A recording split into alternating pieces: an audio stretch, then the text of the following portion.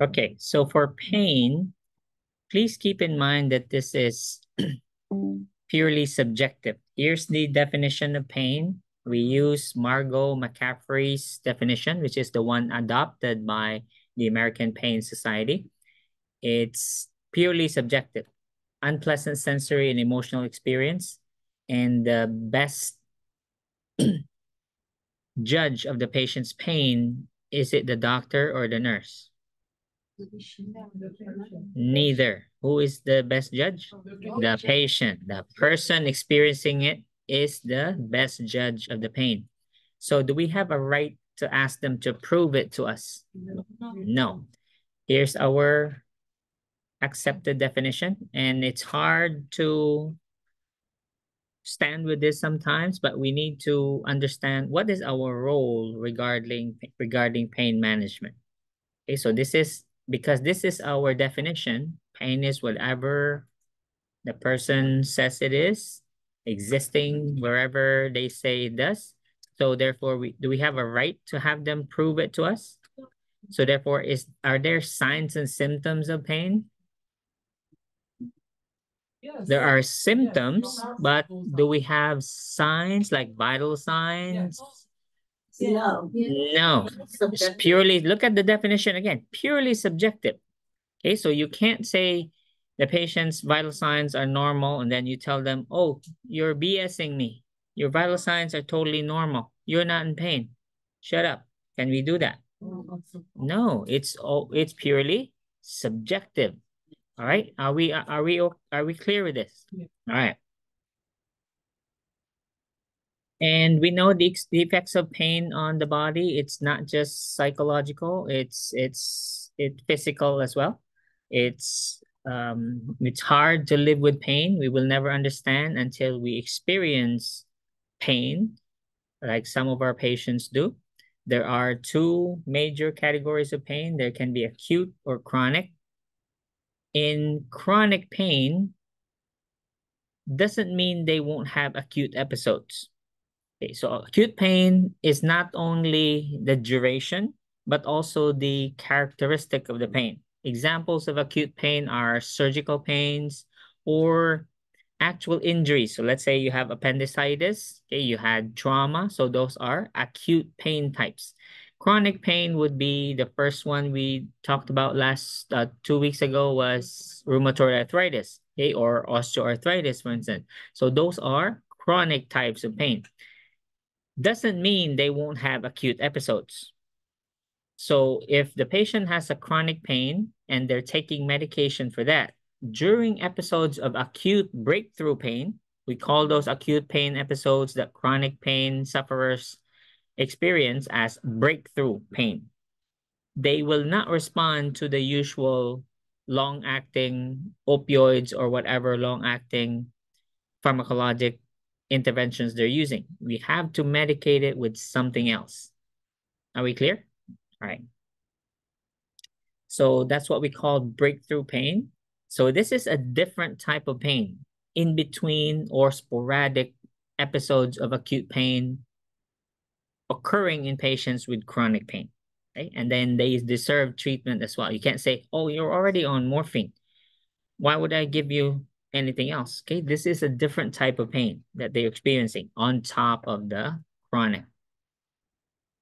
So as far as pathology, meaning the cause of the pain, uh, there are also categories or classifications. We can either classify them as nociceptive. When we say nociceptive, there, there is a physiologic cause of the pain, meaning we can attribute the pain to, to a specific cause. Let's say there's tissue damage or there's trauma or the patient has some infection, for instance, or inflammation. So that's nociceptive. Okay, the patient has a physiologic cause of the pain. There are pain receptors produced at the area, either local or systemically, causing the, the pain. So examples are the of these are muscle type pain, uh, organ, you know, let's say you have a stomach ache, you have cramps okay, during your period, those are all some uh, nociceptive pain, meaning there is a particular reason or cause of the pain. Neuropathic, however, are more abnormal pain sensations, meaning they do not follow normal pain pathways. If you do tests on the patient, do a CAT scan, do lab work, there's no explanation for the patient's pain, but yet they experience the pain. Examples of neuropathic pain is, let's say, shingles. You heard of people who have shingles, so that's neuropathic type. People with long-term diabetes, have you heard them complain of pain in their legs? But then there's nothing wrong physically with the leg. And then let's say another one is phantom limb pain. A phantom limb, meaning they're complaining of pain on the right foot, but yet they have no right foot. The the leg has the right leg has been cut off, but then they keep saying, I'm telling you, there's my right foot hurts. Hey, I know sounds crazy, but that's how I feel. So those are what we call neuropathic pain. So we we treat each one specifically because they they do not follow specifically the the neuropathic types or classifications, they do not respond well to opioids or non-opioids. They have to be treated with a different type of medication. So these are the effects of pain. So it can affect you physiologically, not just causing depression, for instance. So let's say you're a 20-year-old with sickle cell anemia. Anyone familiar with sickle cell disease? Okay, so these people have frequent hospitalizations, they have chronic pain, and they have acute pain during crisis episodes. Okay, so if they they're in and out of the hospital, especially during the cold season, let's say they get three, four admissions for an entire fall or winter season, and you're 20 years old, how does that make you feel? You're missing work, you're missing school because of these hospitalizations. So what will you develop? Okay, you have depression, you have maladaptive uh, disorders, right? You you develop mood disorders. You you you'll have uh, inability to cope. Okay, you'll you'll have impaired social interactions or relationships as a result. So it affects the whole body. We'll discuss later the effects, uh, the side effects of the treatment of opioids specifically uh, when we get to management.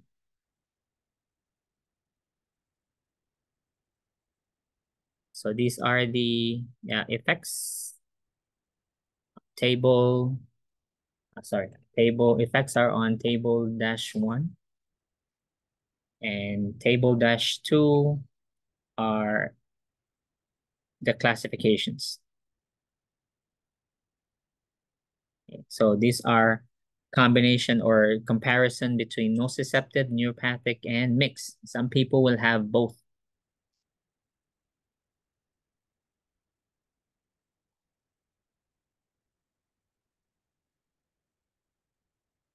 This part is not testable. The transduction, these are the pain processing mechanisms, meaning how do you experience pain? How does pain come about?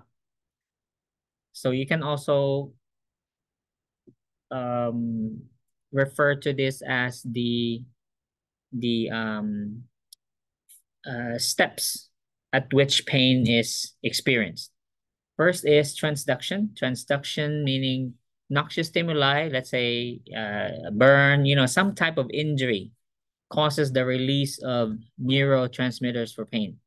One of them is uh, substance P, or it could also be prostaglandin. Okay, these are neurotransmitters for pain. These are released by injured cells or tissues. And once they released in the bloodstream, they circulate in the brain and then they are interpreted as pain. So that's transduction.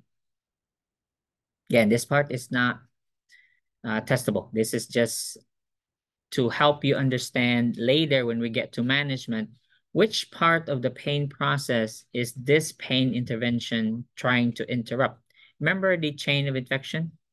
Okay, so how do we prevent infection? By cutting the link, right? So cutting one of the chains, either you cut it from the mode of transmission or you cut it from between the yeah the reservoir and uh, the uh, exit. Or let's say from um, protecting the susceptible host okay? Hand washing for instance okay? So you need you only need to cut the link interrupt the chain and then there is no infection so same thing here so if you interrupt the pain the steps in the pain process let's say you stop it at transduction or you stop it at the next phase is transmission. Okay, so examples of transmission interruption mentioned here is, let's say, uh, massaging. So they they they theorize that small nerve fibers are through which pain impulses or other unpleasant sensations travel through, whereas large nerve fibers are through which pleasant sensations travel through. So if you stimulate large nerve fibers, so this will result in the the euphoria you feel, let's say when you're watching a concert, for instance, you're you're watching Coldplay or you're watching uh, Taylor Swift, whatever you're into, okay? Or let's say eating chocolate or eating your favorite food hey, watching your favorite movie, right? So these are euphoric sensations, right? So these sensations, uh, listening to music, visual, any stimulation uh, that are pleasant travel through large nerve fibers, whereas the the pain or or sadness, for instance, all those unpleasant sensations travel through smaller nerve fibers. So which one is easier to stimulate, large or small? large because it's very easy because they're big. You can easily stimulate them. Examples are men mentioned here are touch, movement, vibration. Okay, so these are ways you can stimulate the large nerve fibers. So let's say you remember when when the last time you hit your shin on something? What did you do as soon as you hit it? Yes. Like this, right? everybody, no matter what culture you are, everybody does that. Right? So the rubbing is you're stimulating the large nerve fibers, right? Through touch. And then how does that eliminate the pain? Always works, right? it works. Okay, so this is proof. Okay, so the, the you're interrupting the transmission by stimulating large nerve fibers. So therefore, can it override the small nerve fiber stimulation? Yes. Yes. Um, so how does someone's psyche come into play with their pain threshold? Because like someone could have like a, a you know a, a high pain uh, threshold. well, that's totally subjective. Yeah. I mean, you can have a really big muscular guy, but then has a very low pain threshold? Well, what I'm saying is like sometimes someone could have a high pain threshold overall in general, but if they've, let's say, been depressed for a long period of time. Oh yeah, of course, that will break a person down. Yeah. So generally speaking, women are known to have a really high pain threshold, right? I mean, you mm-hmm. guys are built for, you know, making babies, delivery, you know, playing multiple roles, right? So you're you guys are tough. Um, guys, on the other hand, you know, get sick, act like a baby, like Mr. Weiss. the worst. Yeah. yeah, me too.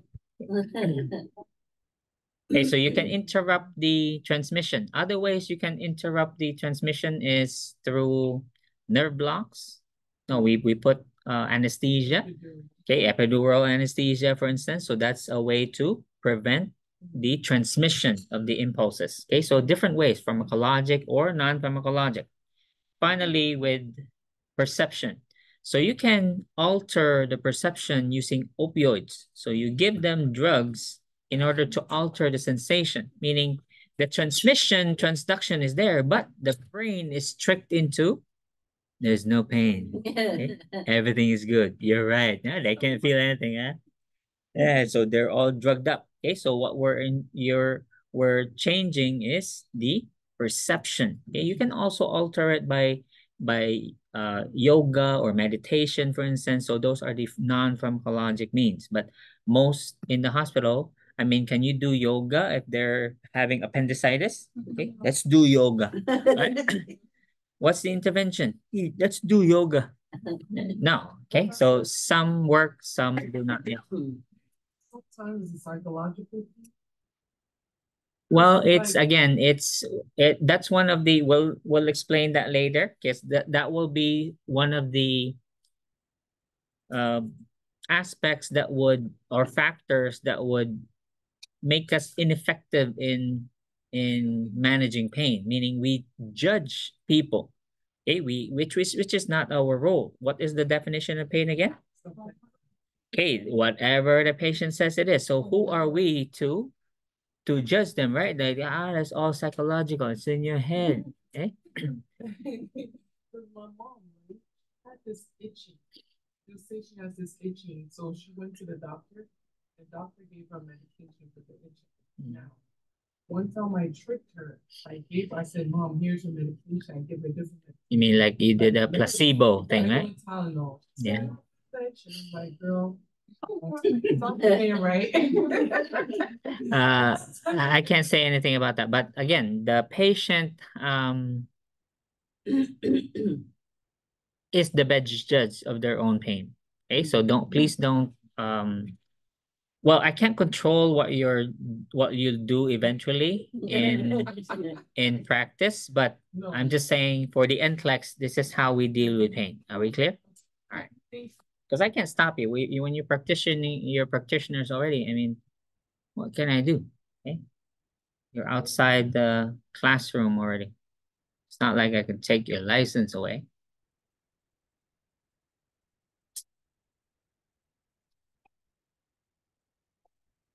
Okay, let's go to the assessment now.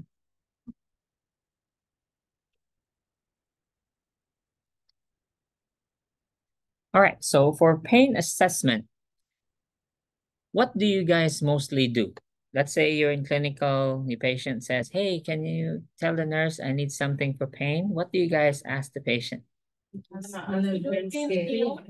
You always go to for the pain scale, yeah? Yeah. Pain scale is only one aspect. Okay, What kind of And- pain? all right, so we have to do a comprehensive pain assessment. So we'll discuss pain assessment and then we'll also need to use an appropriate pain assessment tool appropriate for patient's age, cognitive ability, as well as mental status. So let's begin. A few things though. Chart 9-1. We need to acknowledge these these strategies. Okay. So strategies to use when the patient's pain report of pain is not accepted, meaning they they have uh, some cognitive or physical limitations, for instance, wherein it's not it's impossible to to take their self-report. Okay, so uh read the first one, please. Ms. Zibi. Acknowledge That everyone is Okay, Jennifer. personal but personal does not form the basis for professional. Okay, that's pretty clear, right? Okay, so keep your opinion to yourself. Uh, what is our role again? To accept the patient's self-report. All right, number two.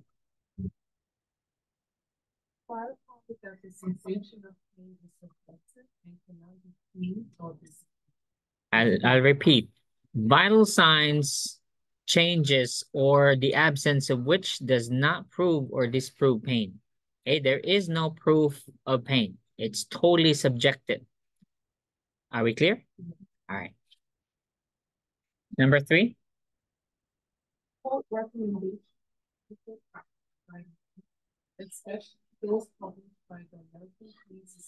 And we'll have more on that as we go through the next paragraphs. And last, ask what? That's why it is so difficult to believe that this person. All right. It's easy to stereotype people once we learn of their history. So let's say this patient has been in and out of your ER and multiple ERs They, they shop around, for instance. Let's say they're drug users as well. They're known to be addicted to opioids. Don't tell me it's easy for you to believe that they're in pain. Be honest.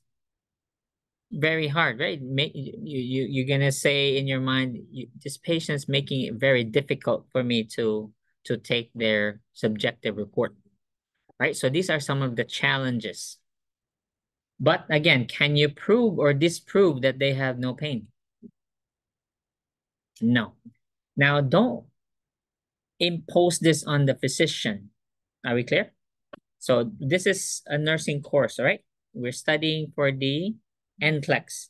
For the NCLEX, do we ask the patient to prove it? No. Now, when you see doctors handle these, especially ER physicians, when they see these people come in, uh, and, and their history. Now, some physicians will turn them away, refuse to give them anything, right? Again, that is not our business. Are we clear? So as nurses, what is our role again?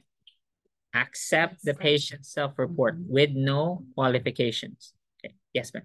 I have a question. Uh, I heard like uh, heroin withdrawal cause the pain too. Say again. Like withdrawal of heroin, like uh, of drugs yeah. opioid drugs. It causes the pain. Is it true or not? The which what did you, the first thing the withdrawal causes pain. Ah, withdrawal. Yeah. Yes, some of the symptoms of withdrawal, which we will discuss today, uh, is pain. Is some of the symptoms, especially abdominal pain. Yes, that's that's true. Yeah, it's true.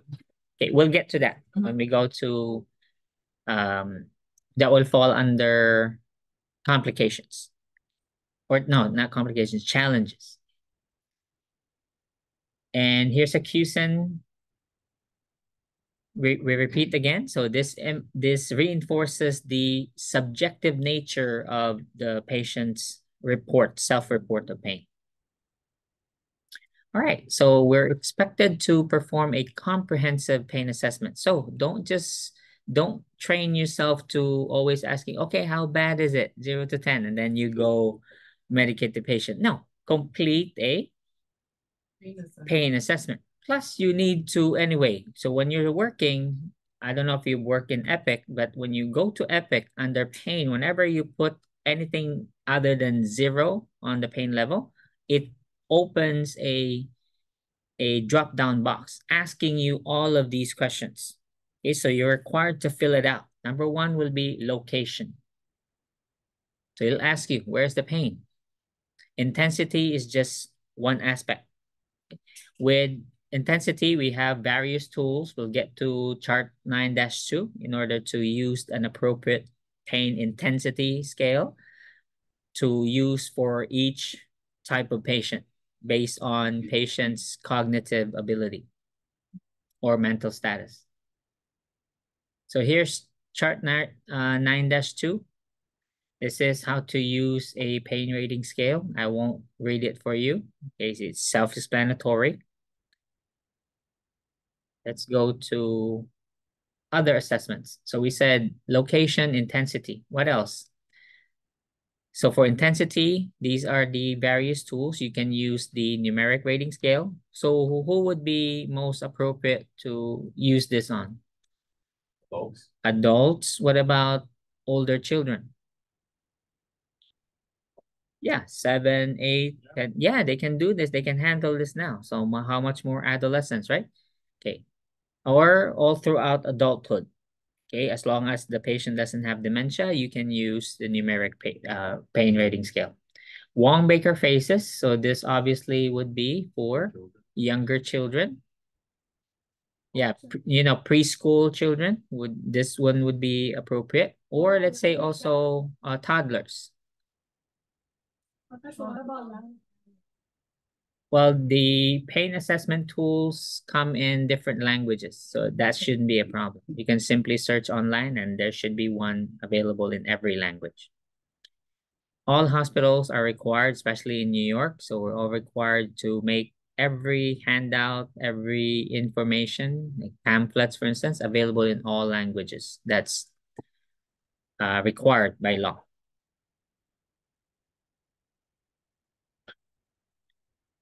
Some of these are combinations of tools, meaning they'll both have a visual, you know, faces plus numbers with them.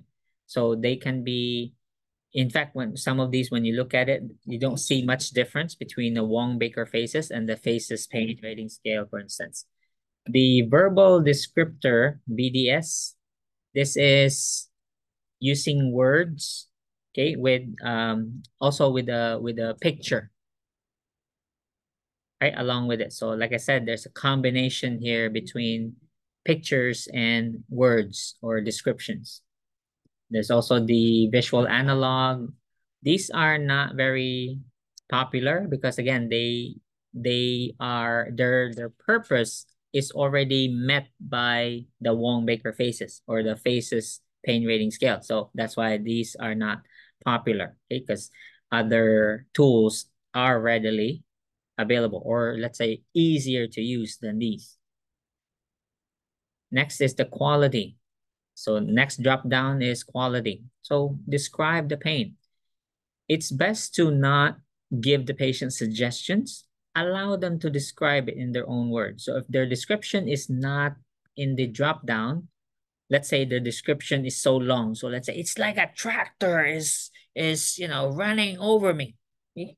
just nothing on that on the mm-hmm. on the drop down. Drop down with just ache, dull, burning, sharp, stabbing. That's it. There's no tractor running over the tractor here. Okay. So mm-hmm. if that's the case, then put it in the comment. Okay, you put it under other. Okay, that's the patient. You put it in quotation marks. That's the patient's description. So let's say a patient with like a problem with stomach pressure. Let's say you're assessing a patient, ask them question like, how does the pain feel? Does the pain feel pain? Okay, we get to that under um aggravating, you know, what what uh, makes it worse, what makes it better. So that's, you put it under the aggravation. Yeah, we'll get to that. Okay. So after quality, which is the description, we go to onset and duration. When did it start? How long does it last? And then after that would be what you're talking about. So aggravating and mitigating factors. What makes it worse? What makes it better? And then effect on their function and quality of life. So again, don't don't um suggest anything to the patient. Just ask them, okay, how does the pain affect you? So most of them will say, well, I can't sleep. I can't go to work. I can't go to the bathroom. Okay, I can't breathe well. Right? Or let's say I'm it's making me stressed. It's making me aggravated. So that's how you what you write. Because under effect, it will just be blank. It's free text. There's no drop down for the effect. Okay, so you have to type that.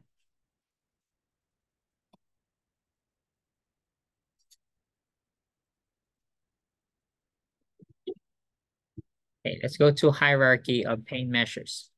Now, the hierarchy is going to help guide you on how to exhaust your pain relief measures. What do you see or observe in clinical when you go or during your clinical days? What do nurses automatically do when the patient complains of pain? Go to the MAR, correct? All right. Mm-hmm. So most nurses, including myself, forget that there are non-pharmacologic pain measures and we only use them if we have nothing else. Because of course, that some doctors will give you a hard time, like, no, I'm not giving anymore. Let's say the patient's pain was not relieved after three or four different medications and they're not due yet. The patient's already ringing. Okay, so and it's all still early. It's only 8 p.m. You have 11 hours to go. So now you you you resort to the non-pharmacologic now. So you you start with music, you know, massages now or distraction, right? Because you have nothing else. Okay, you know, you you start with ice packs. Oh, why didn't I think of this? Okay, so you got ice packs now, or um, you know, let's say you got some uh lotion you can put on. All right, or you can, massages? huh? You massages? Oh yeah, I do.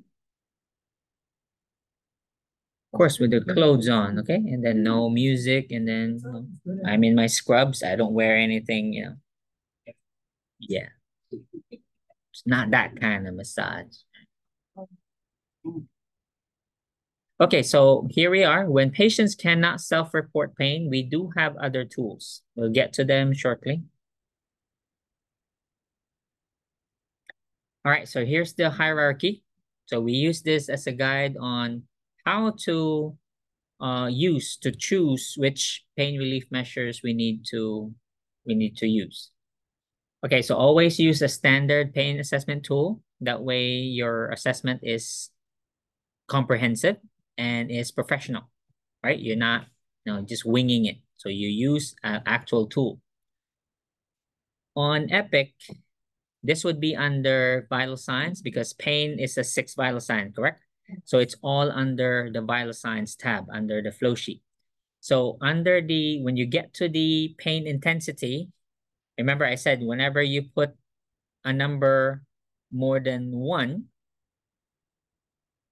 I mean more than zero, it will automatically ask you for a, a comprehensive pain assessment. So one of the tools that will pop up will be, so let's say uh, under uh, pain assessment. So number one would always be the numeric pain scale. That's by default. But when you click on the drop down, it will show you different tools. So what will come up there is PainAD, which is the one we use for dementia patients or confused patients. It doesn't have to be dementia. Anyone with the confusion, meaning they cannot verbalize the, the their pain description. Okay? But however, you see it in their behavior, in their breathing, in their in their sounds that they're making, their uh, activity level. Okay, we'll, we'll get to that shortly.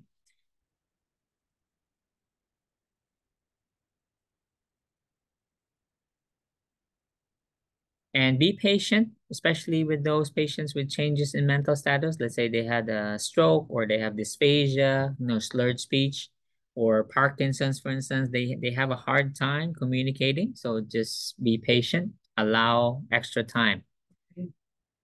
Right.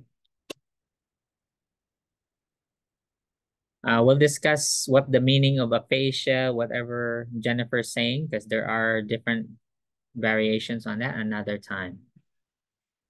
So there are pain assessment tools for all of these patients. So when you have a patient on a vent, meaning they're sedated. We have a pain assessment tool for that. It's all similar to the pain PainAD. Or have you heard of FLACC? Although a pain assessment tool we use for infants, babies. Okay, so they're all based on um, that type of tool, meaning all we can assess is the patient's behavior. And depending on the behavior, let's say for breathing, there's a number attributed. So let's say if the breathing is normal, no increased respiratory rate, that's zero. Once the patient has respiratory rate higher than 20, then that's a one. And then when the patient is in distress, for instance, that's a two. All right. And then there are about five categories, five behaviors that we that we grade under the PainAD. It will be similar with FLACC. Okay, FLACC is just designed for infant. Of course, an infant has a higher heart rate and a higher respiratory rate, correct? So that would be uh, different. And do you see a old person kicking their legs like a baby? No, right? Only babies can do that, right? So therefore, there are specific behaviors that are only seen in an infant, okay, not seen in a grown-ass dementia patient, okay? so here they are, number three. So these are the categories in that pain assessment tool. So these are for people with dementia, with uh, babies or nonverbals or unconscious patients. Look at, we look at the facial expressions and there's a description for each one. So if there's grimacing, that's one. Or the patient has, you know, like, like this uh, obvious distress, that's a two. Okay, and then you add up the score, that's your pain score. All right, and then we medicate or we intervene based on those total numbers. Are we clear? Yeah. Now, surrogate, we don't always use this uh, unless it's really a primary caregiver because these primary caregivers, let's say the spouse, the parent, those who are with this patient 24 7 are they in a position to know the patient best than everybody else yes because they observe they can tell you that oh yeah that's what he does when he's he has discomfort okay so we can use surrogates okay? if available then other physical indicators again so let's say uh, what does what does, does this say again? Thank you for reading the first two statements on number four. Samuel. Evaluate physiologic. Thank you, Samuel. Oh, someone, sorry. No, go ahead. Evaluate physiologic indicators with the understanding that they are the least sensitive indicators of pain. And may signal the existence of conditions other than pain or a lack of Example, hypervolemia blood tests. The patients quickly adapt physiologically despite pain and may have normal or below normal vital signs in the presence of pain. The overriding principle is that the absence of an elevated blood pressure or heart rate does not mean the absence of pain. Okay, so I rest my case, all right? Mm-hmm. So I rest, I hope you understand that please don't use vital signs as a proof or indicator of your pain. And none of the tools that we mentioned earlier, you know, the FACES, the numeric pain scale, the PAINAD, the FLACC, none of them include vital signs. None, none. They include behaviors like leg activity, consolability, but not vital signs. Are we clear? Okay, so vital signs is the least effective okay? least effective or sensitive indicator. But I still wonder, especially down south when I was working there. So we had pain management doctors there that gave orders to, okay, please document vital signs every time the patient reports pain. And I go, what the hell is this? Where did this come from? There's, the textbooks don't say anything like this. but then it's an order. Okay, fine. But I mean, what for, right? It's not like you can prove it, you know, send it to the in, in court, you know, or or to the insurance company because it's a proven fact. They are not reliable. Okay, because the body adapts, especially if it's chronic pain, the body adapts. Then there's no more vital signs changes. Maybe for someone who's who's not accustomed to pain. So let's say Samuel uh, has an acute appendicitis and then it ruptured. So during his painful episode, yeah, he may have, yeah, increased heart rate, increased blood pressure, for instance. So, but is it present in everybody? No. And what does this say again? It's, it's, uh, it's, it, it will only signal the existence of conditions other than pain, right? Or the lack of it. So they don't prove or disprove pain.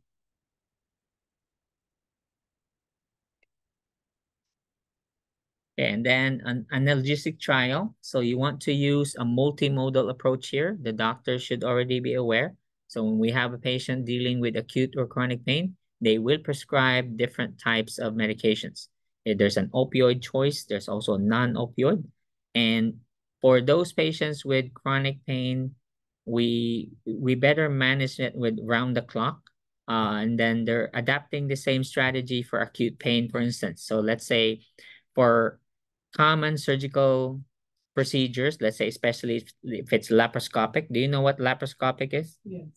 No, when there's no big incision. It makes small. Yeah, they mo make small one inch incisions and they put used a robot, okay, to, to put instruments through those small holes and then perform the surgery. Okay, meaning small incisions, meaning they recover faster, right? Mm-hmm. Okay. So for those patients, they only give Tylenol, IV Tylenol every six hours, 1,000 grams every six hours. So that's four grams. That's the maximum for the day, right? So they give it around the clock, whether the patient's in pain or not. No, they give it for 24 to 48 hours. And it's been very effective only for those types of surgeries though. Okay? Uncomplicated surgeries like that, let's say gastric surgeries. Uh, but of course, will it work will Tylenol work for a knee replacement? No. of course, that's a different level of pain. You, you, you understand? Okay, so certain types of surgical procedures, Tylenol, IV, four grams total might work, but not for, say, joint surgeries okay? or open heart surgeries. So those are higher level of pain. So for dementia, here's the tool. So we use uh, PainAD. Uh, here's the rest of it. So we got FLACC for infants and young children. So FLACC stands for that facial expression, leg movement, activity, crying, consolability. And then here's PainAD for the dementia, again, based on behavior. The behavior is similar to the FLACC because they're all based on behavior. But of course, there's no leg, you know, leg movement in uh, in the PainAD. Okay, because I mean, grown ass people don't do that. And there's CPOT. This is what we use for critical care. No, those on a vent, those who are sedated. But all again, all of them are based on the same behavior as with the FLACC, right? Because that's all we can assess. These patients are nonverbal, right? Have you seen an infant talk? If they do, that's it's crazy. Yes. What system pain fall under? There's no system specific. System for what would fall under? No solid.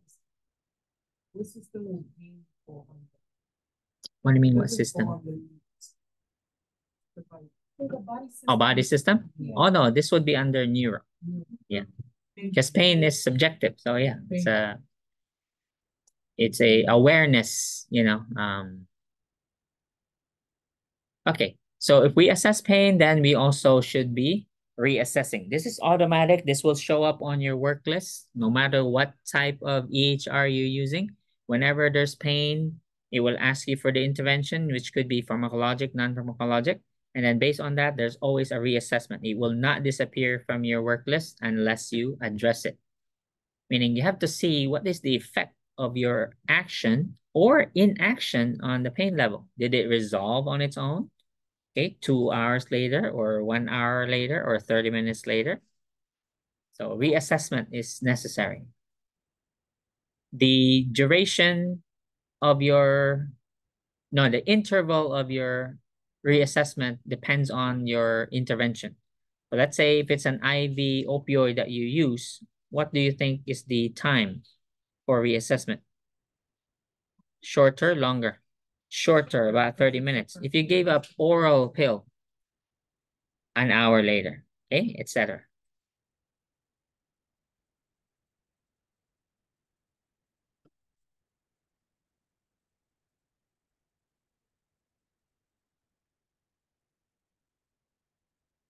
Let's go to management now.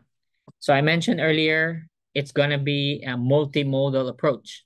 Okay, do not be a one-trick pony. Don't just go to the MAR and, and do medications. Okay, there are non-pharmacologic pain relief measures. You wanna do some yoga? Yeah. So non-pharmacologic, definitely there's no there's no little to no side effects, right? With pharmacologic, there are always side effects and contraindications as well. So let's start with pharmacologic. Again, multimodal. Don't use just one. If the doctor only orders one, then suggest something. All right, so send a message. We do that now for Epic. You can send a message. You don't have to talk to the doctor, especially, you know, if you don't like each other. So you can just text, okay? Send a text message. You don't have to face each other, okay? So talk through the messaging system. Routes. Preferably, we should use the oral route. It's the least harmful of all the routes, less side effects as well. And it's more natural, correct? Because we eat, we don't normally inject, right? uh, substance. Do you inject food? You know, yeah, let me get steak uh, into my into my belly. No. Okay, so we take it by mouth. Uh, however, consider certain limitations. Let's say the patient is NPO, then of course you can't give it orally. Or let's say the patient's here for a abdominal problem. Okay, so patient can't take anything by mouth, or maybe there's a absorption problem. So the oral route is not an option. Depending also on the period. So if it's immediate period, acute pain, so will oral be the best initial approach? You may want to start with parenteral first, IM, IV, sub-Q. And then gradually switch the patient to oral. Because can we continue IV administration at discharge? No, you're going to have to discharge the patient on oral. So start weaning them off the IV and start using the oral in preparation for discharge. Rectal, especially if the patient has any nausea vomiting associated with the condition that causes the pain. So you can use the suppositories.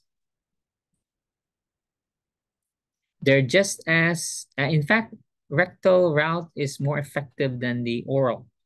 It's faster, it's absorbed faster through the rectal route.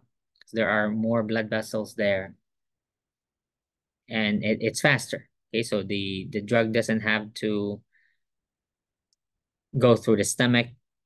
Okay, so if you go to the rectal, I'm not saying put the tablet into the rectum. Okay, that's not appropriate. Tablet is designed to be through the mouth. Of course, I'm referring to suppositories, okay, because it's a different form formulation now. So it's designed for direct absorption into the bloodstream. And goes both ways. Don't give the suppository by mouth. Regarding suppositories, mucous membranes are the same. What I'm trying to say is sometimes I do miss the, the rectum. Know, in the female, for instance, say the patient moves, right? Remember, there's a very few centimeters between the vagina and the rectum. So sometimes, not all the time, I can count maybe two, three times in my lifetime that it went to the wrong hole. But the patient's pain was relieved. So I guess mucous membranes are mucous membranes. Okay? Yeah. I mean, it's a a medication. It's not like I put feces into the vaginal canal. I put a medication in there.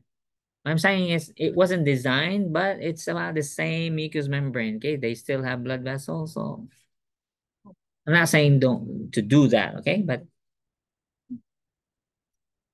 because the thing is, once you use a lubricant and then the patient squeezes the butt as you go, the torpedo kind of have their own mind now and you can't retrieve it all the time. So when you try to retrieve retrieve it, it only goes so further and then you try to grab it some more. Now the patient's looking at you, what are you doing?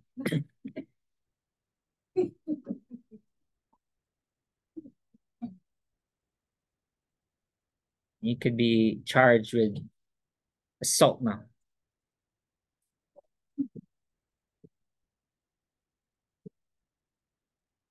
Okay, dosing regimen. so these are the, uh, well, we don't really decide this, it's the doctor. However, please know that um, understand titration. Titration means adjusting. If you can titrate up, meaning increase the dose as you go, you can always also titrate down. It go always goes both ways. How you decide? Well, how is the patient reacting? Now, for the scheduling, around the clock is best uh, compared to PRN. PRN is as needed, right?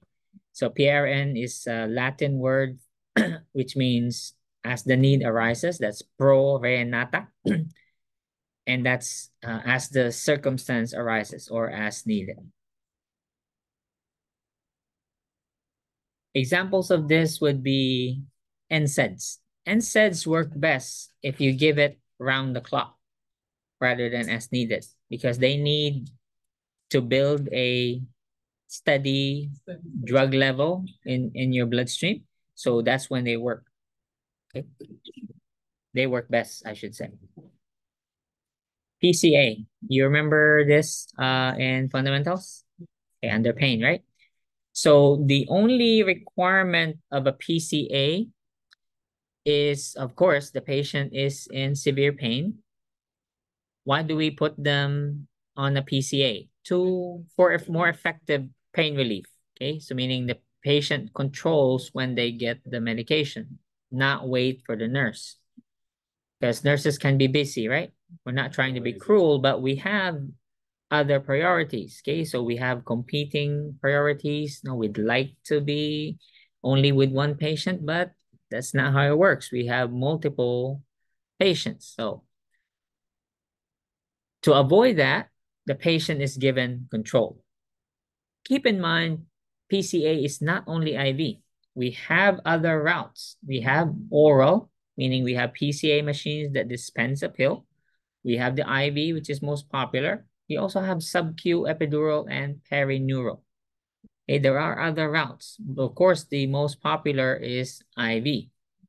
Most drugs used for IV are hydromorphone, which is dilaudid, morphine, most popular. We have fentanyl. We also have uh, Demerol or meperidine. Most common, of course, is morphine. Now, is it dangerous? Yes. Patient could OD. So therefore, and what is the most, uh, the earliest sign of an overdose? Respiratory depression. So therefore, what will we monitor in the patient while on PCA? Pulse ox. Okay, so because what will happen to the pulse ox if the patient's respiratory rate drops below 10 per minute? What will happen to the oxygen saturation? It will also drop. Okay, so therefore, pulse ox would be your best indicator. I mean, you can't sit there, stare at the patient. So you just need a continuous pulse ox, set the alarm that it falls below 92 or 90, for instance, it will beep, and then you go see the patient. You see the patient's respiratory rate below 10, then you administer naloxone, okay, Narcan. All right, since the patient has to use this, what's the only or most important requirement?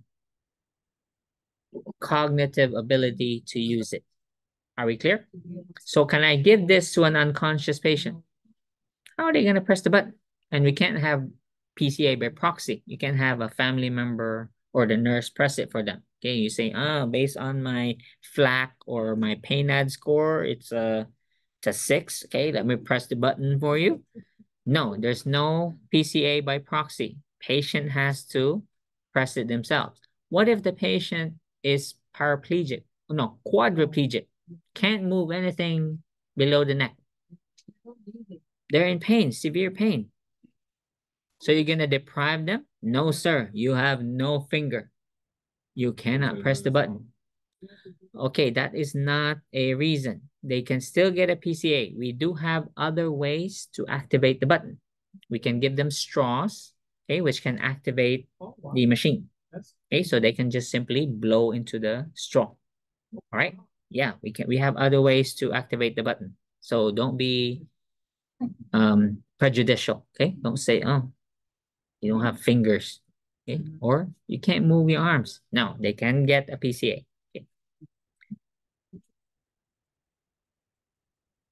Okay, let's look at the settings because again, there's danger here. Let me ex uh, explain a few things. Basal rate is not always ordered. Basal rate on a PCA means the patient gets a medicine every hour, whether they press the button or not. Are we clear? Let's say they get 0.1 milligrams every hour or morphine. That's a basal rate. Okay, they don't have to press the button. The pump will give them 0.1 or whatever the dose ordered is every hour. Are we clear? That's basal rate. Now the PCA rate is how much they'll get when they press the button. Doctor again prescribes that. What if the patient presses the button 1 million times? Don't worry about it because there's a 15 minute lockup. What is a 15 minute lockup? That means every 15 minutes, even if they press it 2 million times, the pump will only give them one dose every 15 minutes. So again, basal rate, which not all patients will get one. There's everybody will get a 15 minute lockup. Okay, that's set, that's default. Sometimes there's adjustment, then they'll say 10 minutes or 20 minutes, but most settings are 15 minutes. They needed that frequent. Yeah, that's PCA. But again, there's only so much they can get. Okay, so let's say 0 0.2, 0 0.1 every 15 minutes. The only use of the, when, when we see, because it registers the number of times they press the button on the pump. So you can see there how many times have they pressed it in the last hour. So that means if you see there 999 times, what is the explanation? They should know severe pain. Patient's pain is not relief. Or you can investigate. How come you pre I see you press the button a million times? You have nothing else to do? Or maybe they'll say, they'll tell you, okay, no, it's just really in pain. Okay? Or maybe they put a bump stock on the button, you know, made it automatic. So we already discussed the continuous pulse ox, okay? That's to ensure they don't OD without us knowing. And oh, uh, the last one is the four hour limit. so basal rate, PCA rate, 15 minute lockout, and four hour limit, meaning in every four hours, the patient won't get a maximum dose. You understand so far? Any question on a PCA? Okay, let me show you a picture in case you've never seen a PCA pump. it depends on the type of IV pump the hospital uses.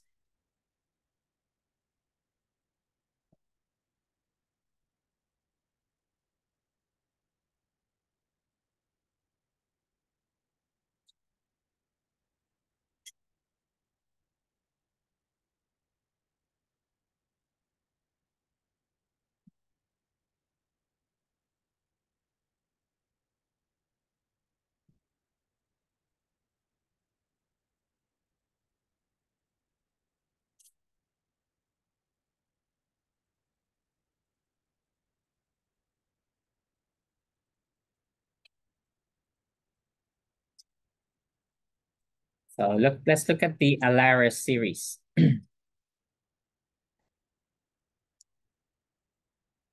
okay, so this is the Alaris pump, PCA pump.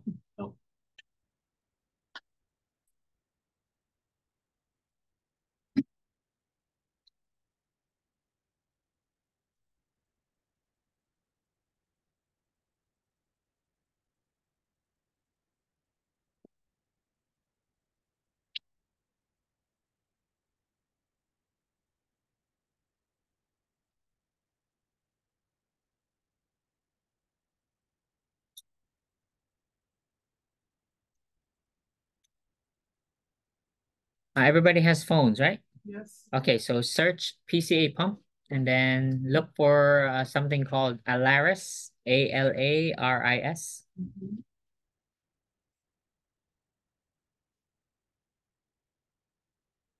You see it? Check on images. Just look for the picture of a pump.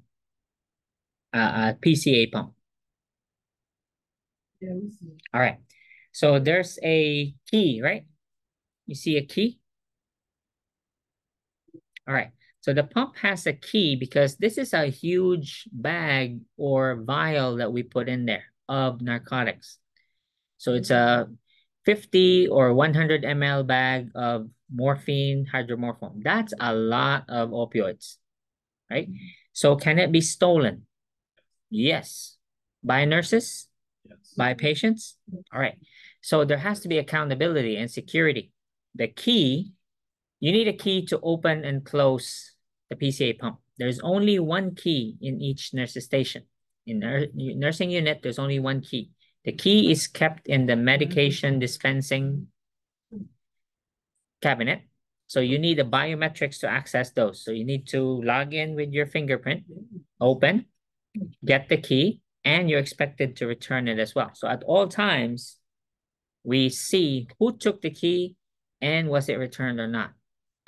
So that whenever there's something going on, let's say, oh, you have a PCA missing, or let's say the patient with this was discharged. What happened to the leftover PCA? Okay, the, the, the narcotic. So it has to be accounted for. How much did the patient use? How much was left over? All right. And who, who discarded it? Who wasted it? Who was the witness? Because you need a witness in order to discard it. Again, the key is the, the evidence.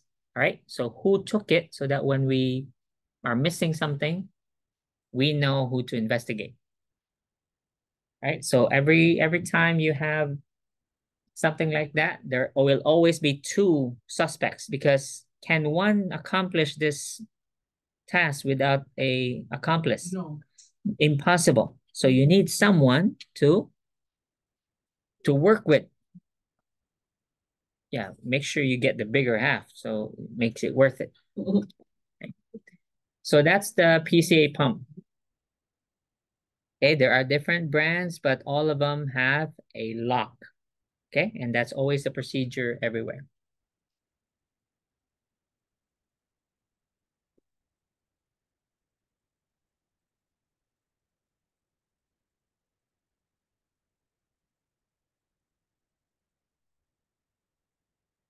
All right, that's it for the PCA.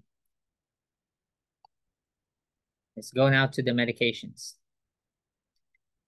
There are three groups of pharmacologic interventions. So we've got non-opioids, we've got opioids, which is the largest group, and then we have co-analgesics, also called adjuvant analgesic agents. Examples of non-opioids are Tylenol, NSAIDs, and we've got, uh, yeah, tramadol is an opioid though. It's not. Um, tramadol, or are you taking talking about Toradol? Um, Tramadol or Ultram is an opioid. yeah, It's an the name of opioid. It's a mild opioid. It's the weakest among opioids. And What was the other name that started with the T that you just said? Uh, Toradol or Ketorolac is, you know, it can be mistaken. Tramadol, Toradol. Um, but uh, Toradol, which is Ketorolac, is an NSAID. It's, an, it's the only IV NSAID. And then you've got Ultram, the weakest of all. There used to be Darvocet, but Darvocet disappeared. I don't know what happened to Darvocet. So now we still have Ultram.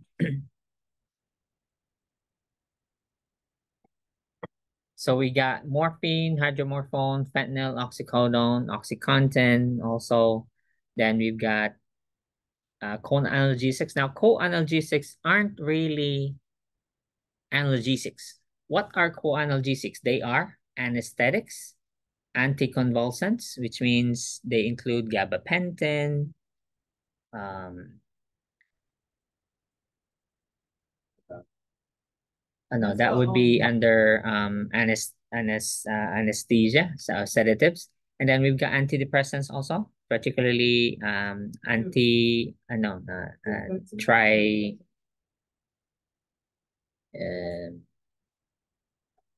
amitriptyline uh, or tricyclic, sorry. Tricyclic antidepressants are very effective in treating, you remember the neuropathic pain? No, limb, limb, um, uh, phantom limb pain, that kind of thing, shingles. So we use ga gabapentin, and then we've got Cymbalta, Lyrica.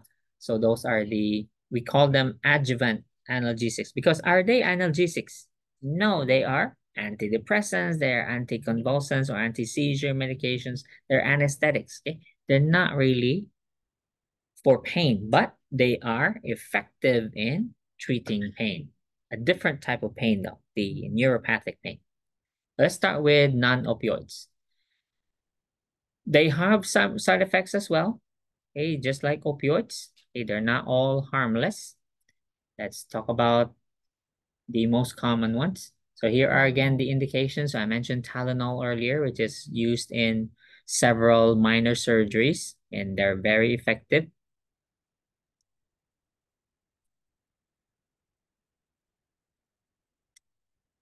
They can be combined with opioids as well. In fact, we have combinations two in one pill, such as let's say Percocet. Percocet is oxycodone and Tylenol. Then we also have, uh, right, uh, Tylenol with codeine. Okay, that's Tylenol number three. Okay, so it's a combination uh, medications, or they can also be separate. We start with Tylenol. So the number one contraindication here or side effect is liver toxicity. You so you can't use it with people with elevated liver enzymes. Uh, IV acetaminophen. So we were part of this. I remember in 2005 when they first started this out. It was a big study. There was a lot of people there know, not staff, you know, from the pharmaceutical company, you their lab coats and taking data. Get out of my way. so it's a 15 minute infusion. So it's a 100 ml vi glass vial. So therefore, how many mLs per hour? It's 15 minutes. 100 ml over 15 minutes. So how many mLs per hour? Um, Then a hundred, Six. Come on. Four hundred. 400 mLs per hour. Okay, so NSAIDs. So the NSAIDs are ibuprofen, naproxen. In case you're wondering why isn't aspirin mentioned here, we do not use aspirin. It's an NSAID, but we don't use it for pain. Are we clear? Okay, so long ago, when you see people still saying, hey, can I take an aspirin for a headache? These are the boomers, okay? These are people born in that area, uh, during that era. We don't use aspirin for pain anymore. Are we clear? So aspirin is used for antiplatelets now. But of course, people buy aspirin because it's over the counter. I still see people taking aspirin, but they shouldn't really. Helps with hangover. Sorry. How it helps with the hangover, like Alka Seltzer? Well, any um NSAIDs are when when we say NSAIDs, they uh they inhibit uh, prostaglandin, correct? And prostaglandin is a vasodilator. So therefore, uh the headache, if you have a hangover, it's really caused by tyramine because alcohol has tyramine, right? That's a potent vasodilator. So if you give a drug that will inhibit prostaglandin synthesis, therefore you're causing vasoconstriction. So therefore, a headache is caused by vasodilation, meaning increased intracranial pressure. So if you decrease the size of the blood vessels, then there's no more increased ICP, no more headache. Okay. Or the best would be stay drunk. Okay, do not do not put yourself in a hangover. Okay, keep drinking. is that why when someone has a hangover, what makes them feel better the next day? Is that they, like, for instance, if someone drank beer and then they wake, I had a grandmother that would do that. She would get drunk, She And then the lived well, morning- yeah. I like your grandma. she would have a beer to make her hangover go away. Oh, okay. I never understood the science. I don't behind it. know. That doesn't really work. She's just a drunk, basically. All right. She did have a problem. Yeah. Which is good. I mean, we all die anyway, right? Yeah. Those who don't drink just look good in the coffin. That's the only difference. Okay. Okay, NSAIDs, uh, over the counter, very effective. Okay, non-opioid option. The problem with this is, let's go to the side effects later. So the I I, I already mentioned IV formulation is ketorolac. Here's the adverse effects. So there are three groups of side effects for uh, non-opioids, particularly for Tylenol, we said liver toxicity, hepatotoxicity. So the, I know this says here um, daily dose, the textbook says daily dose of 3000 milligrams, correct? Now this is oral. IV, it's four grams. Are we clear? Okay. Oral, three grams. IV, four grams.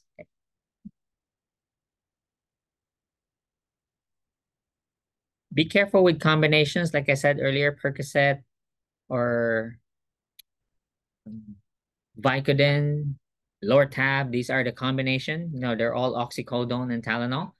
Please count the Tylenol content of that as well. Because sometimes they take Tylenol separately and then also Percocet, Lortab, Vicodin. They also contain Tylenol. Sometimes patients forget. Eh, they just say, I didn't take Tylenol.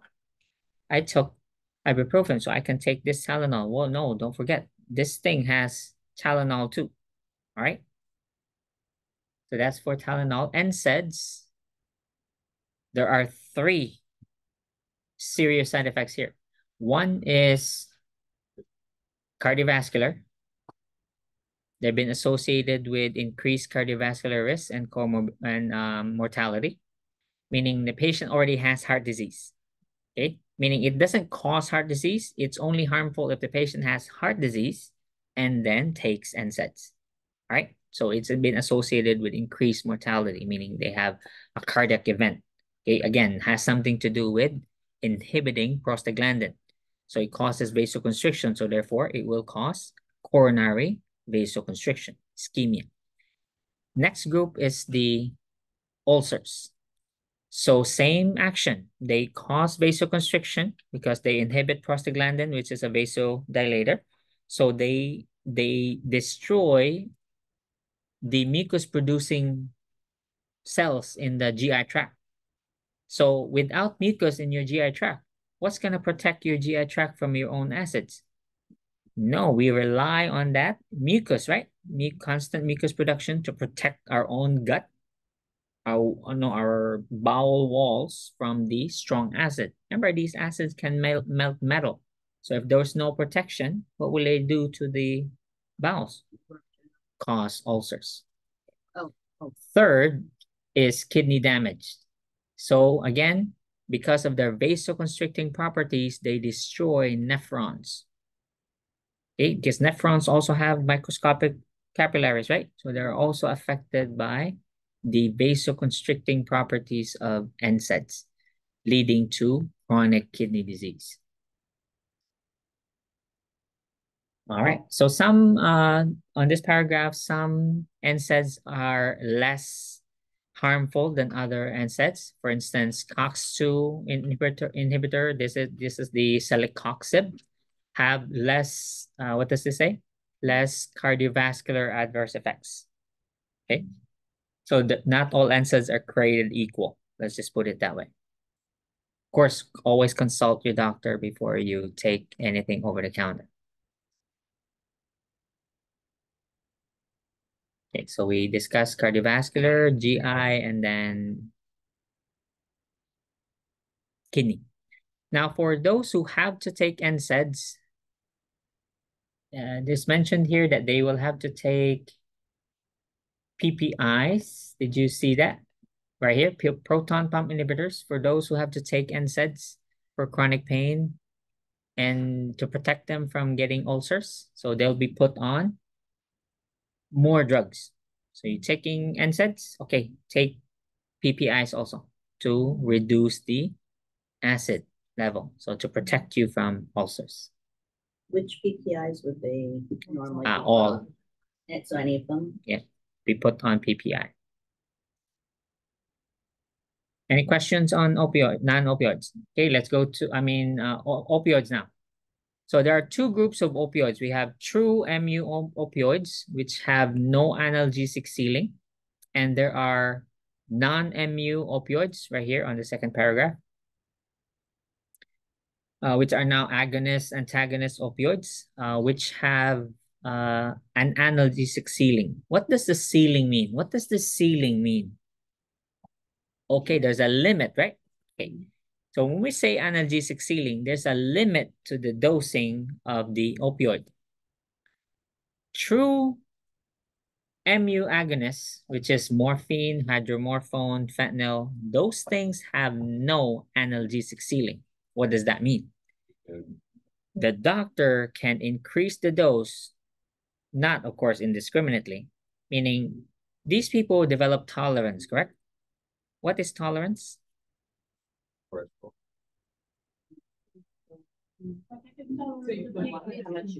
Okay, so Maria, when when you started drinking, how much alcohol made you tipsy? One glass.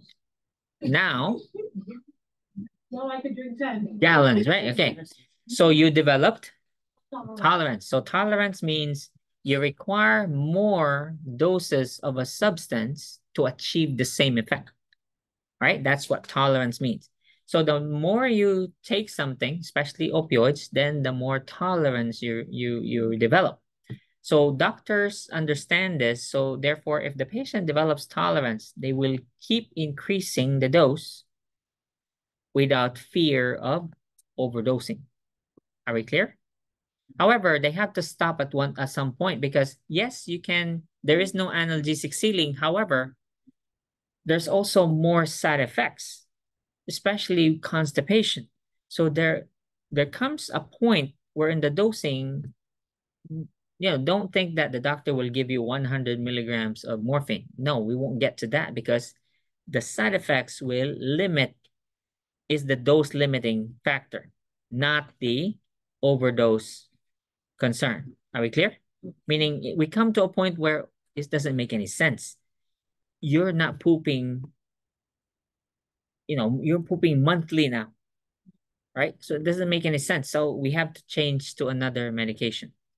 All right. So that's the dose limiting uh, factor. It's the side effects. That's why we, we don't go over. But as far as the dosing for the medication, these drugs here, uh, fentanyl, oxycodone, morphine, they have no analgesic ceiling. There's no limit.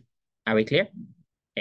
However, the others, the non-MU agonists, which are the uh, buprenorphine, nalbuphine, butorphanol, they have an analgesic ceiling. Okay, there's a limit. They're dangerous. So they only have so much you can the doctor can prescribe. The opioids work again by altering the pain receptor sites. No, tricks the brain into there is no pain, bro. Okay, there is no pain. So it just alters the perception of the pain pain is there, they just can't feel it because the doc the brain is not interpreting it as pain anymore. The gold standard is morphine for opioids, followed by hydromorphone.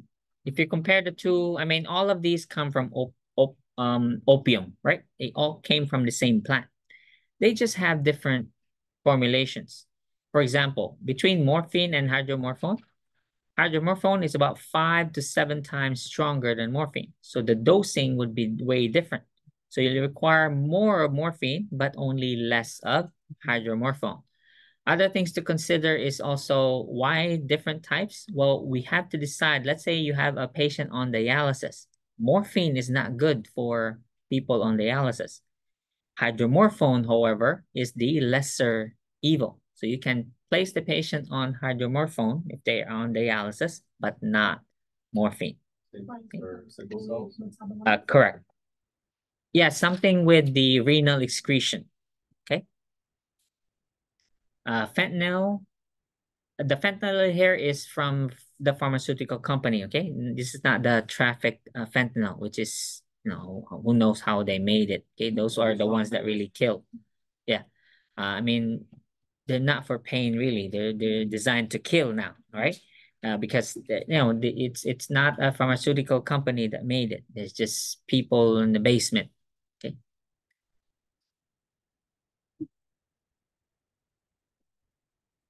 And here are our antagonists, which are the antidotes. Okay, so we have naloxone, which is the most uh, popular. So they come in nasal sprays, tablets, and uh, parenteral options. Administration, again, we, we want oral as much as possible. Then if it acute, then we can use a parenteral. Titration, same thing as earlier under the hierarchy chart. So you can titrate up, you can also titrate down. It's very important, especially when we're discharging the patient, you know, weaning them off.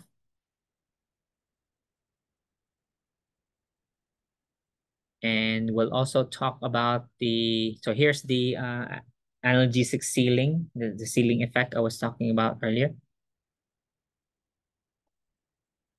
Okay, here's a guideline for using opioids, chart 9-5. Start with assessment. Okay, before you decide to use opioids, perform a comprehensive assessment. Is this really the right choice for this patient for this particular type of pain? And consider side effects. Uh, there's also something we call, there's two sets of patients. We have opioid naive and we have veterans mm -hmm. or opioid tolerant. So we have opioid naive, opioid tolerant. Who are opioid naive? Anyone who's not usually taking opioids, then you are naive. You are at risk for overdose respiratory depression, and you'll die. Opioid tolerant patients, however, you give them gallons of this thing, they'll be walking around, driving, going to work. Okay? They don't have the respiratory depression, they don't have the sedation, they don't have the nausea vomiting, none of those.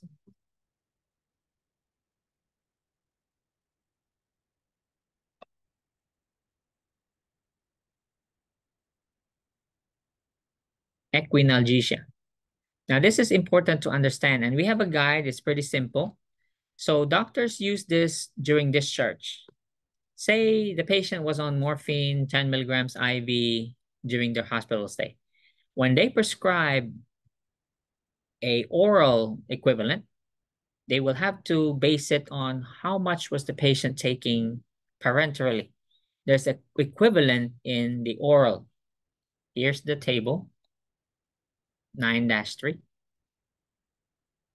There's only three here, so it's, there's not much to memorize because not all have a IV form.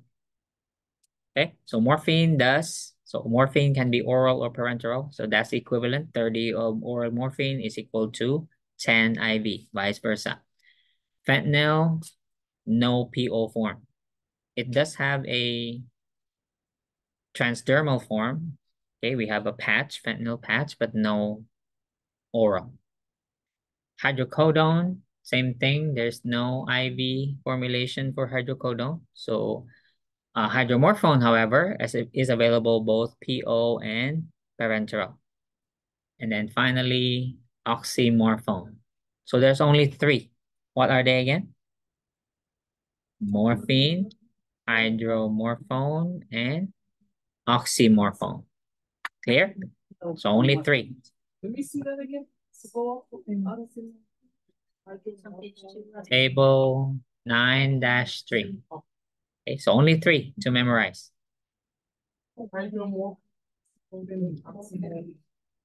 Okay, we're wrapping up now, almost done. Let's talk about these three challenges. So we've got substance abuse disorder. This used to be called addiction. Now the medical term is SUD, substance use disorder, physical dependence, and then tolerance. Start with physical dependence. What is it? Well, this is when you like something, do you crave it? Yes. If something feels good, will you look for it? Yes. Our body likes it. So this is the nature of physical dependence. So the more you use something, and then we abruptly take it from you, what happens? Withdrawal. You go into a withdrawal. It's a physical withdrawal, not just a psychological. Okay, so this is purely physical. And you have physical manifestations when you abruptly remove it okay, or deprive somebody of it. So what are the signs of withdrawal? Uh, it's later in the chapter. Tolerance. I already described it to you earlier. So Maria, She's alcohol tolerant now. So she requires gallons of it in order to achieve her fix. Okay. So same thing here. Who are at risk for tolerance? Young people. Tolerance can can develop easily. It doesn't have to be weeks or months of opioid use. It can be days. Let's say you've been on the drug. Let's say you had surgery and we we give you the uh, the drug um over 48 or hours or longer, you start developing tolerance. By the way, physical dependence also the same. So physical dependence usually sets in about a week after using opioids or longer. Okay, there's a physical dependence. So some patients, let's say, don't understand when we prescribe them pills on opioids on discharge. So let's say we give the patient who had um, open heart surgery, right? So we give them, here, here sir, uh, you're, you're going home now. So fill this prescription, okay? Then they'll ask, but I, I don't have any pain. So explain to them, yes, sir, that's why you don't have any pain because we've, we've been giving you opioids round the clock, okay? Because we don't have that, we, we can't have them in pain. These are expensive uh, procedures, okay? These are hundreds of thousands of dollars. So we can't have uh, an unhappy patient, okay? So they're drugged round the clock. So of course they're comfortable. I never have any pain, okay? So why do I need to fill this? So explain to them, sir, we've been drugging you pretty good. So when you go home without these, you're gonna go into withdrawal. Okay, some of them don't believe it. And then when you go visit them, oh, I had a hard time last night. You know, they have, we'll get to the manifestations uh, later. Okay, so they go into physical withdrawal and it's really, really unpleasant. So tolerance and then substance abuse disorder. Now, please bear in mind, this is not caused by using opioids. No, it's a combination of factors, mostly psychological factors, because the patient now uses the drug for purposes other than pain. But someone, so let's say Zibby takes hydrocodone or OxyContin for pain. Will she become addicted? Not necessarily because she has she has pain. So she's using it to relieve pain. However, when she no longer has pain and she continues to use it, is she addicted now? Yeah. Yes, that's what we call substance use disorder now because she, she's still using it for relieving pain. No, she's taking it for the for the high now. Okay.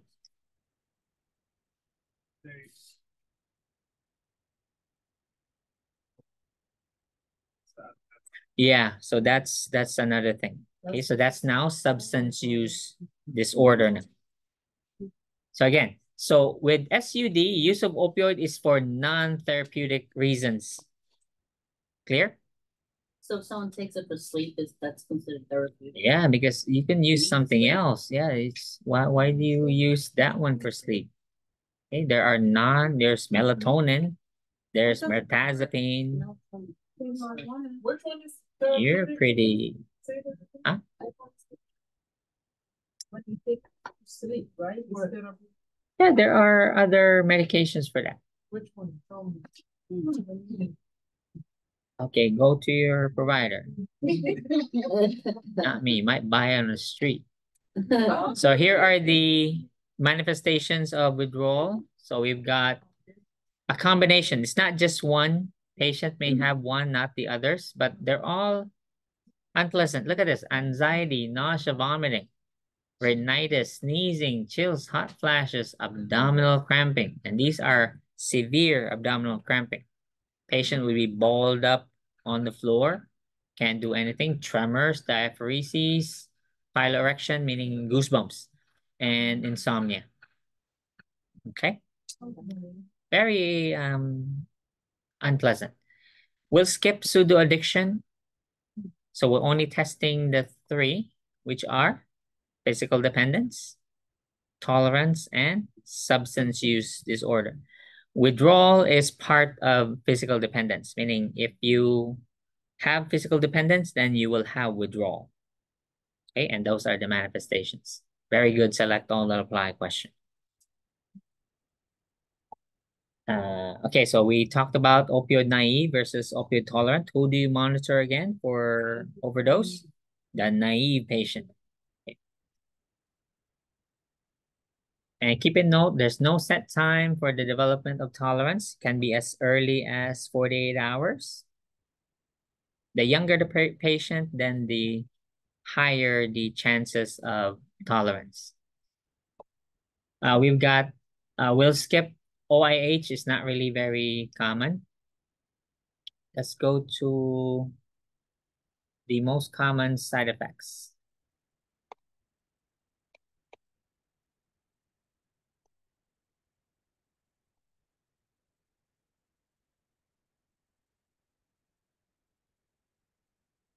Okay, uh, methadone is a unique opioid so this is used to treat opioid addiction. So you give another opioid to treat opioid addiction. Meperid, I mean, um, methadone is is very effective okay, in treating, especially those with uh, heroin, okay, heroin addiction. So they benefit from methadone. It, of course, is not the only treatment. You know, you don't just prescribe, oh, you have addiction, here you go it has to be combined with psychotherapy. Okay? There has to be um, uh, another approach because again, the as you looked at as you read SUD earlier, was it just caused by the opioid? Mm. No, it's a combination of uh, several factors, right? Personal, psychological, emotional, it's not just the use of the substance.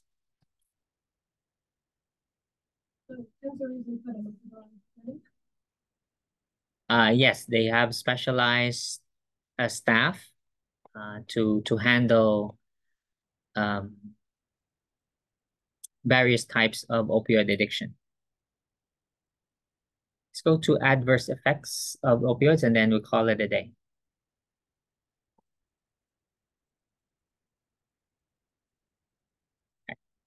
So the most common are the following constipation, nausea, vomiting, pruritus.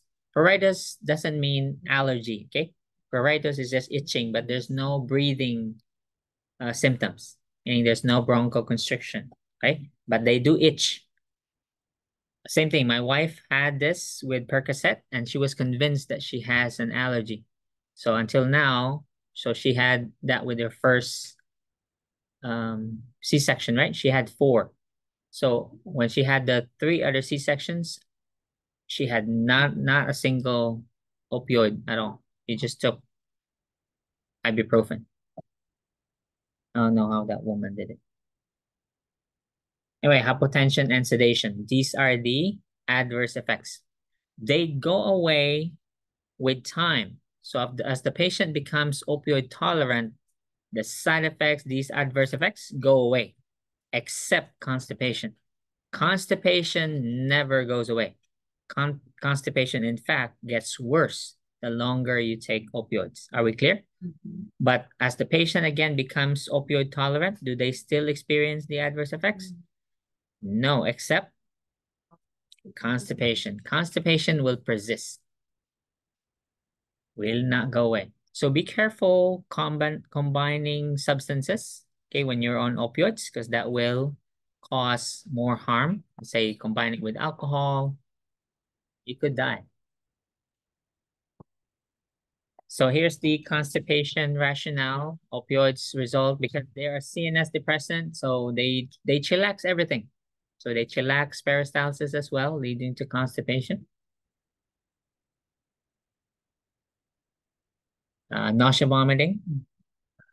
When was the last time you felt nauseous? Mm. Was it a nice sensation? Mm. Terrible, right? The most, I can handle pain better than I can handle nausea. I, I don't like nausea. I can't eat. And you know I love to eat. Again, I emphasize pruritus is not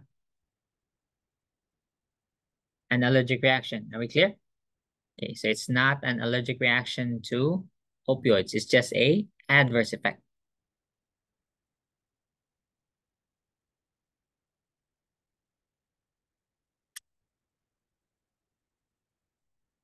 So sedation and respiratory depression, this indicates an overdose. And what's the treatment again? Okay, so the key here is to identify it and then save a life.